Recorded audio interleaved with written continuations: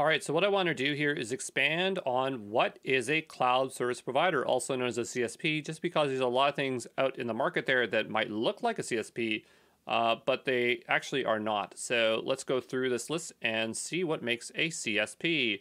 So this is a company which provides multiple cloud services, ranging from tens to hundreds of services. Those cloud services can be chained together to create cloud architectures.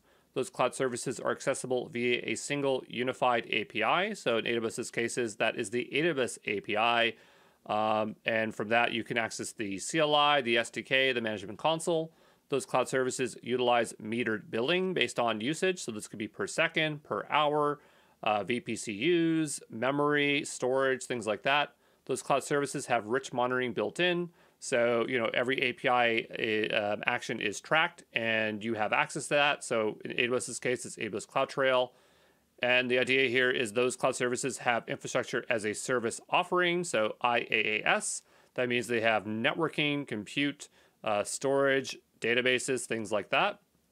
Those cloud services offers automation via infrastructure as code, so you can write code to set everything up.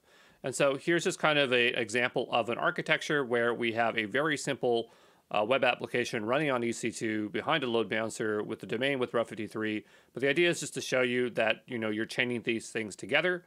If a company offers multiple cloud services under a single UI, but do not meet most of or all of these requirements, it would just be referred to as a cloud platform. So when you hear about Twilio or HashiCorp or Databricks, those are cloud platforms, and AWS, Azure, GCP are cloud service providers, okay?